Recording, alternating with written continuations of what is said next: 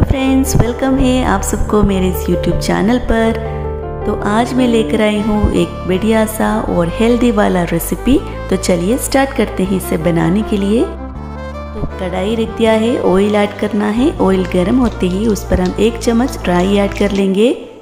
और साथ ही साथ दो बड़े साइज़ की प्याज हमें ऐड करना है।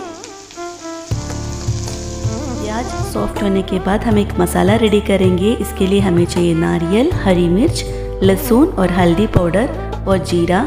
ये सारे चीज़ों को डालकर अच्छे से ग्राइंड करके लेना है क्रश करके लेना है। तो देखिए, हमारा प्याज जो है अच्छे से सॉफ्ट हो चुका है।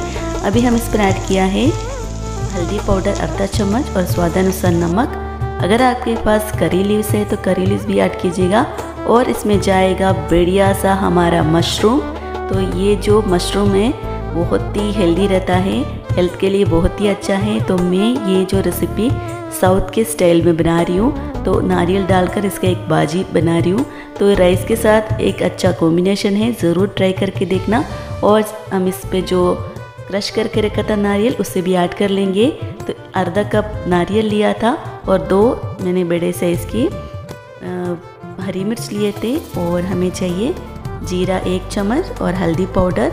और लहसुन दो तीन कलियाँ चाहिए और डालकर अच्छे से क्रश करना है और इस बाजी में डालना है और ढक कर रखेंगे ताकि ये अच्छे से पक जाए। इसमें पानी डालने की कोई ज़रूरत नहीं है। इस मशरूम से निकलेंगे पानी। उससे कुक हो जाते हैं हमारी मशरूम।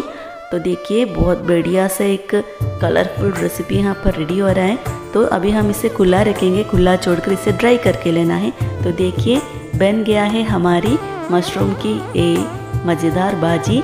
तो आज ही आप लोग ट्राई करना और मुझे कमेंट करके बताना आपको ये रेसिपी कैसा लगा। अच्छा लगा तो अपने फ्रेंड्स को रिलेटिव्स को ज़रूर शेयर भी कर देना फ्रेंड्स बहुत ही टेस्टी हैं। बच्चे को, बड़े को बहुत ही पसंद आने वाले हैं। और लंच के टाइम डिनर के टाइम आप इसे सर्व कर सकते हैं।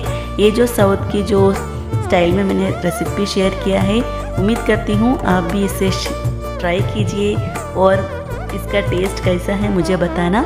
तो फिर आती हूँ नई नए रेसिपी के साथ। तब तक के लिए बाय थैंक यू